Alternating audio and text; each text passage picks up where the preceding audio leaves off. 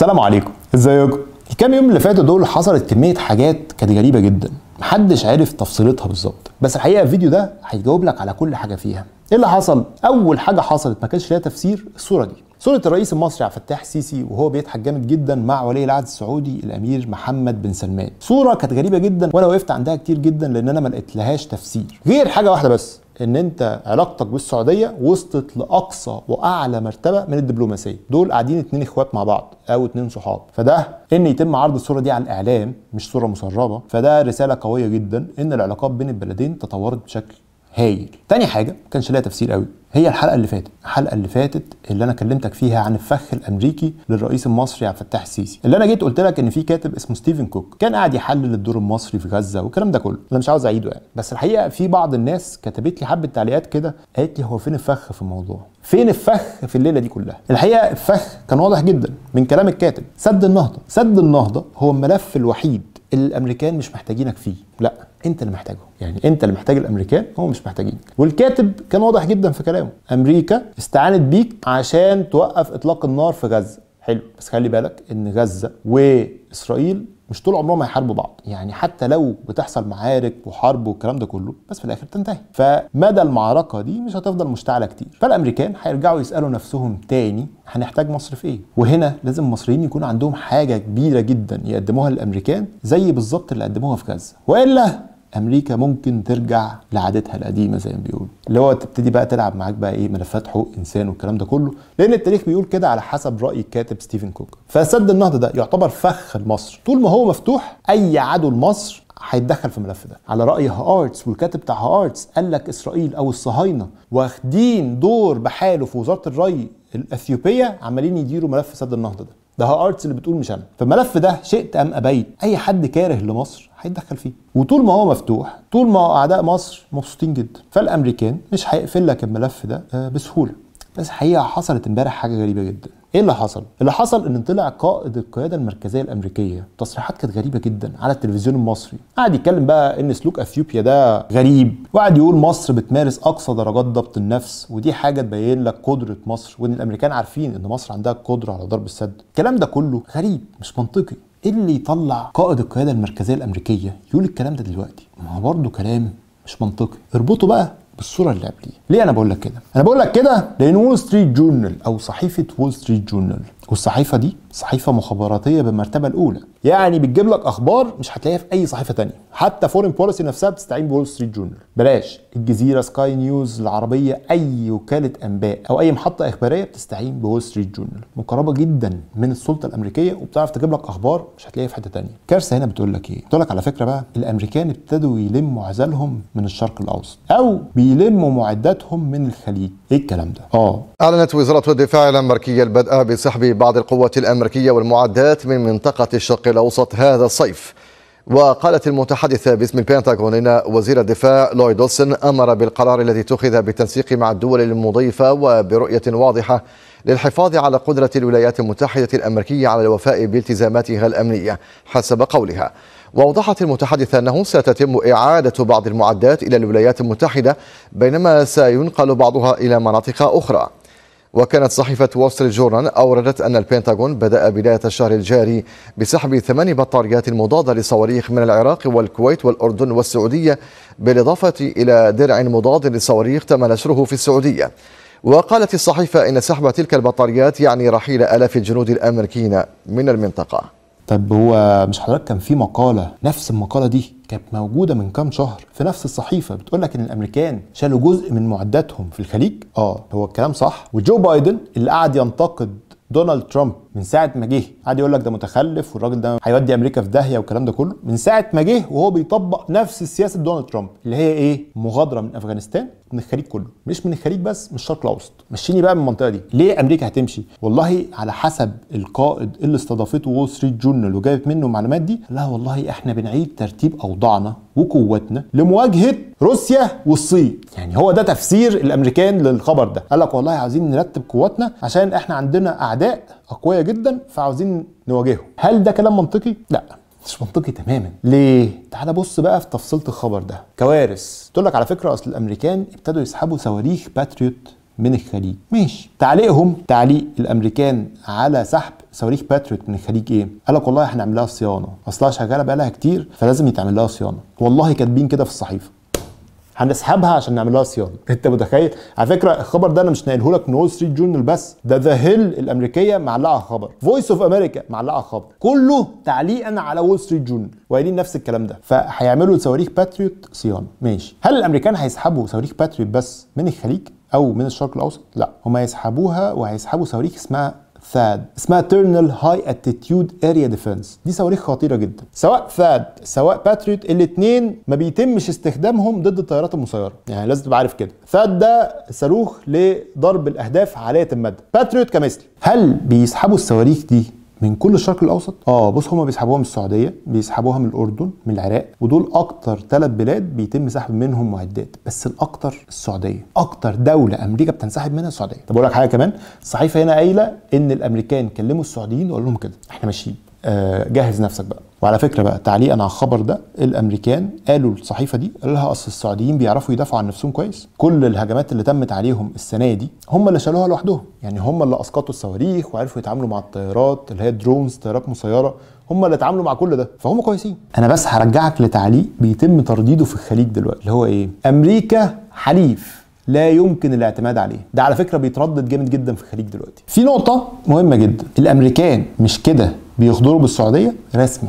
يعني الأمريكان كده ده ده قمة الغدر. إن السعودية دلوقتي على حسب صحيفة وول ستريت جورنال بتقول لك اتعرضت السنة دي بس ل 100 هجوم. 100 السنة دي 100 في ظل ال 100 دول الأمريكان ماشيين. وسيبك بقى إيه من الطيارات ال B 52 اللي رايحه جاية دي فوق السعودية وفوق الخليج أي كلام. استعراض عسكري وهمي. أمريكا لا هتحارب إيران. ولا إيران هتحارب أمريكا. وتاني حاجة بس عشان تبقى عارف يعني آه لما سألوا الجنرال الأمريكي ده قالوا له أنتوا بتستخدموا باتريوت ليه؟ وثاد ليه؟ ما بتستخدموش حاجة مضادة للمسيرات ليه؟ أو ال drones قالوا لها لأن القوات الأمريكية مش هيتم الهجوم عليها بطيارات مسيرة. طيب هيتم الهجوم عليها بإيه؟ صواريخ من قبل إيران. فالأمريكان كانوا عارفين إن الحوثيين مش هيستهدفوه أمريكان قاعدين في السعودية أو في الخليج وعارفين ان اللي هيستهدفهم إيران. عشان كده بيستخدموا باتريوت وثاد على فكرة المعلومات دي خطيرة جدا. المعلومات دي بتكشف لك أسرار خطيرة جدا. اوعى تستقل بيها. لا ده كلام خطير. في حتة هنا مهمة جدا تعليقا على الموضوع ده. استضافوا أو المجلة دي استضافت جنرال أمريكي. عشان بس احقاقا للحق. قال لها مفيش أي حاجة من الكلام ده. ده كله اعاده انتشار. وعلى فكرة بقى إحنا سحبنا جنود من أفغانستان جبناهم آه الخليج مفيش أي حاجة من دي. أنا بس عاوز أذكرك بحاجة. موقف القوات الأمريكية في أفغانستان ده فضيحة سوداء هيتعمل في أفغانستان نفس اللي اتعمل في الفيتناميين يعني يعني دلوقتي أمريكا سحبت نص قوتها. نص بس. أول ما سحبت نص قواتها طالبان أو حركة طالبان استعادت أراضي كبيرة جدا في أفغانستان. طيب أول ما النص الثاني ده ينسحب طالبان هترجع تحكم أفغانستان تاني. كأن أمريكا أهدرت كل اللي عملته السنوات اللي فاتت دي وكل المصاريف اللي صرفتها والمبالغ والأسلحة والمعدات كل الكلام ده راح. طب الناس الأمريكان اللي ماتوا في أفغانستان مش مشكلة. إحنا عندنا أولويات تانية. فأمريكا دلوقتي بتمشي من أفغانستان آه هتمشي من الخليج وهتعيد تمركزها بقى آه إن هي تواجه آه روسيا والصين. دي أخبار ها؟ أو دي مقالة نازلة في صحيفة وول ستريت جورنال مين أحسن حد يعلق عليها؟ مين الفذ اللي يقدر يعلق على الكلام ده كله؟ أكتر حد هيتأذي هو اللي هيعلق لك على الكلام ده. مين؟ الصهاينة. الصهاينة بيصوتوا. يعني بص بيصوتوا.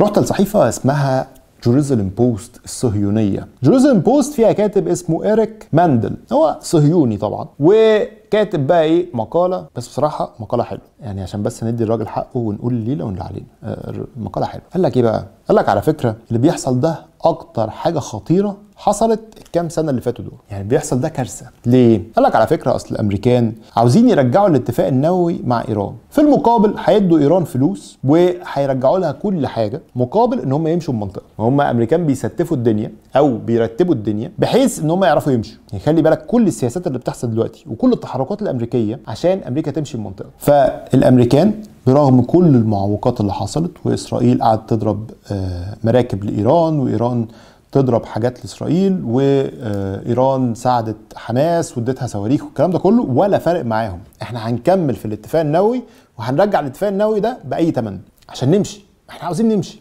فالكاتب بيقول لك أمريكا مش بس هتمشي المنطقة دي هتقوي إيران.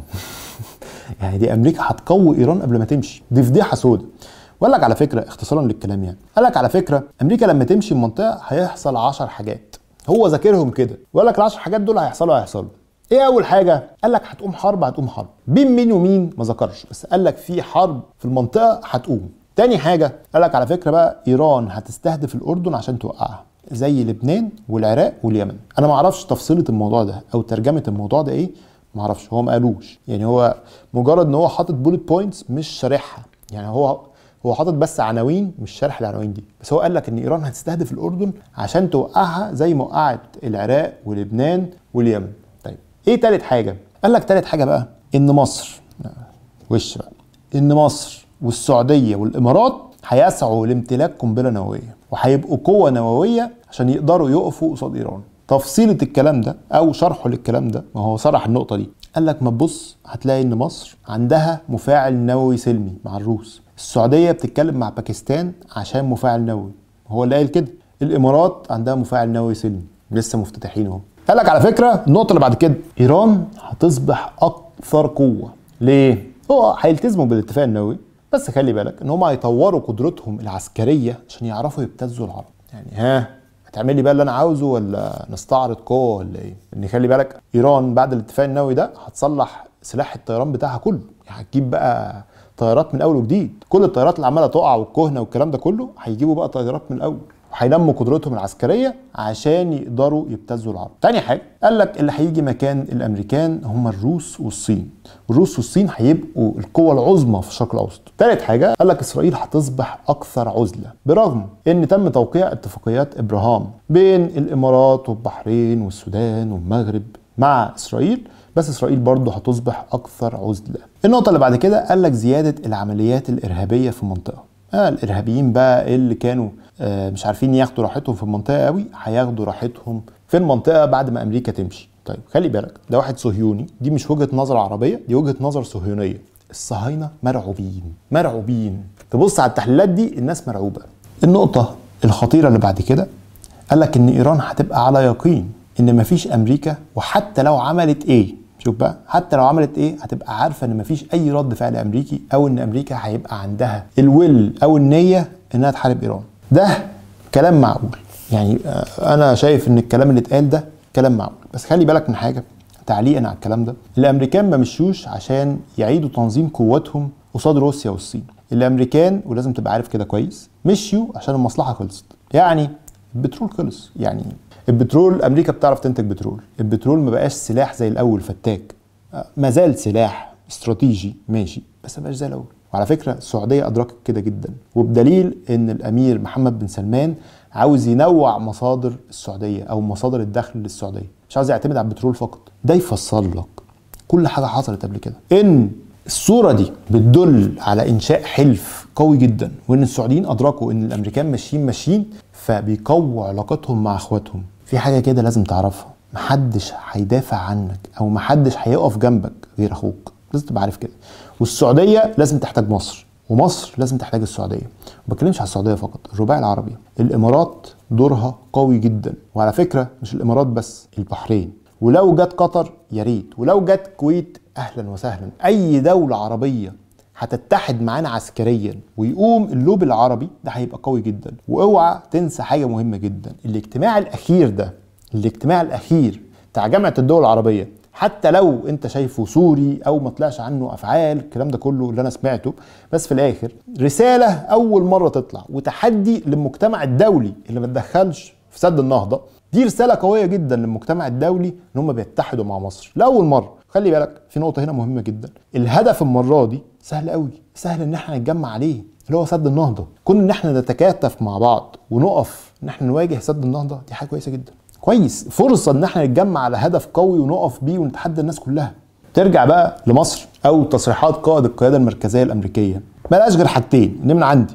الراجل ده محتاجك إن أنت تفضل حليف ليه في البحر المتوسط. لمواجهه روسيا والصين والكلام ده كله هو محتاج؟ برغم إن في مقالة في فورين بوليسي قالت لك على فكرة موقف مصر ضبابي. يعني مصر ما تعرفش هي حليف أمريكا ولا حليف روسيا. طول عمر مصر موقفها ضبابي كده ما تعرفلهاش. بس في الآخر أمريكا محتاجاك. في حلف في شرق البحر المتوسط أو في البحر المتوسط. فبيحتاجك فبيديك كلمتين حلوين. أو بيقول لك شد حيلك. إحنا ماشيين والمهمة تقيلة وحش وإحنا هنسيب منطقة. في الآخر إحنا مالناش غير بعض على فكرة. يعني السعودية امارات العرب كلهم ملناش غير بعض. يا رب اكون شرحت لك الموضوع بشكل مبسط. هيتضرب على فكرة. سد. هيتضرب وهتشوف. وعلى اللي انت عاوزه ويا رب انصر العرب. ويا رب انصر مصر. تحيا مصر. سلام. يا محروسة بسيف شاطر وسيف حارس عليك يمين ومن فوق السما السما حميك يا رب العالمين من الضل ومن الخيني ومن الخلق اللي بين أهليكي مدسوسة يا محروسة.